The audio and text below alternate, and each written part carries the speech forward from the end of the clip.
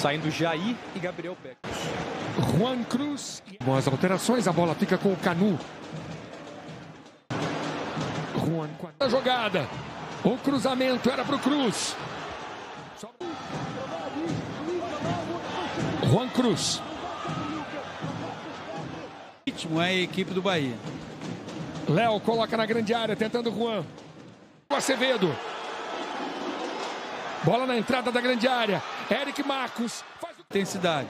As substituições não resultaram no que esperava. Beleza de bola na esquerda para o Juan. Domina.